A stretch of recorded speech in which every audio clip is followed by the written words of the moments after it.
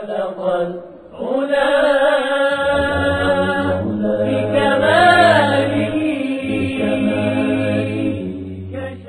اللہ الرحمن الرحیم۔ امت مسلمہ کی شرعی طور پر جو ذمہ داریاں تھیں، عالمی سطح پر بھی اور ملکی سطح پر بھی، کہ اللہ کی اور اس کے رسول صلی اللہ علیہ وسلم کے پیغام کو اللہ کے تمام بندوں تک پہنچانا۔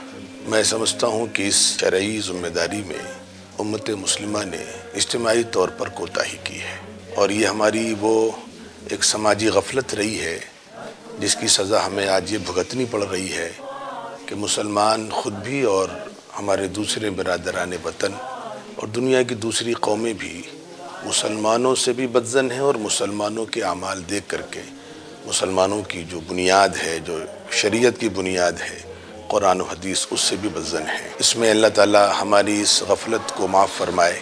لیکن اللہ کا شکر ہے کہ بعض لوگوں نے اس سلسلے میں پہل کی ہے اور اس میں بطور خاص تنظیم المکاتب کو میں مبارکباد دیتا ہوں کہ اس نے وقت کی نزاکت کا احساس کیا اور جو کام کرنے کا تھا وہ کام شروع کیا اور تمام طبقات کو مختلف مذاہب کے لوگوں کو بلا کر کے حضور پاک علیہ السلاۃ والسلام کا پیغام جو خدا کی ذات کے حوالے سے، اس کی عبادت کے حوالے سے اور اس کی مخلوق کی خدمت کے حوالے سے ہے۔ اس کو لے کر کے تین روزہ کانفرنس کرنے کا فیصلہ کیا ہے۔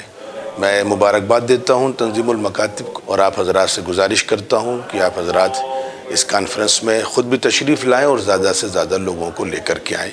شکریہ۔ السلام علیکم ورحمۃ اللہ وبرکاتہ۔